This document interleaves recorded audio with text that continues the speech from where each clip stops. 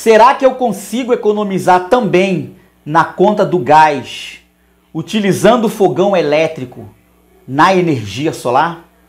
Então, olha, depois da vinheta eu vou fazer um comentário e quero ouvir também a sua opinião.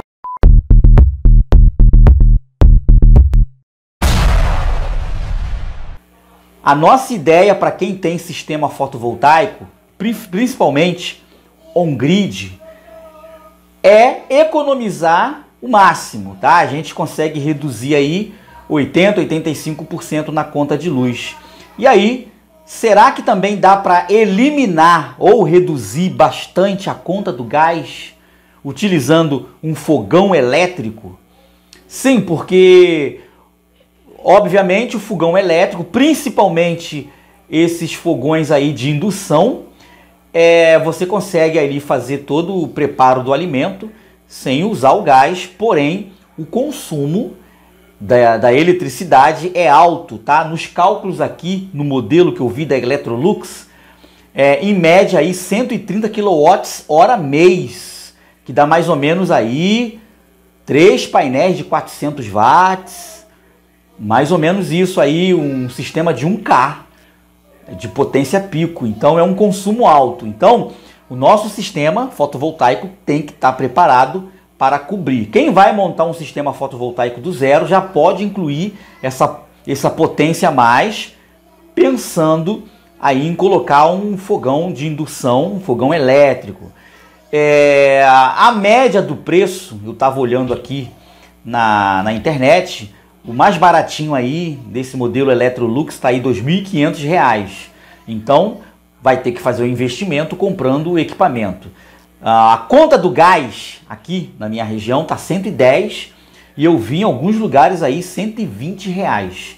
Então com esse valor de 110, 120 reais, só se você fazer uma prestação de 30 meses, que é muita coisa. Mas fazendo uma prestação aí em 24 meses, eu não gosto de fazer prestação longa, aí mais ou menos 170 reais por mês. Não é tão muito é, além do valor do gás. Então parece que dá para a gente esticar um pouquinho, fazer uma prestação aí em 24 vezes. Você vai pagar juros. Esse 2.500 com certeza vai passar de 3.000 reais.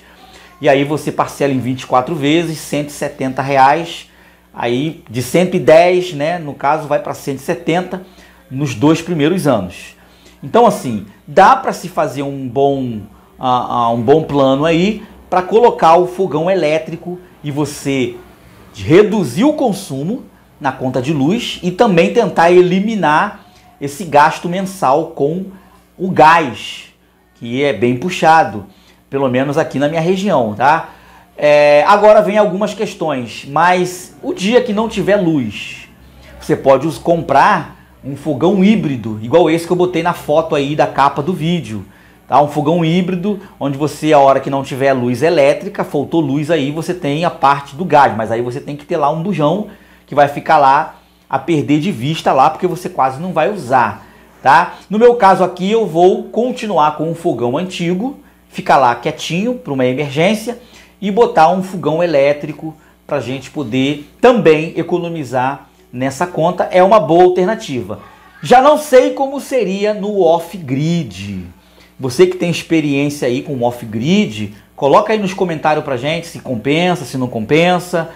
Porque no on-grid, dependendo aí do seu sistema, dá para fazer e ter essa economia aí.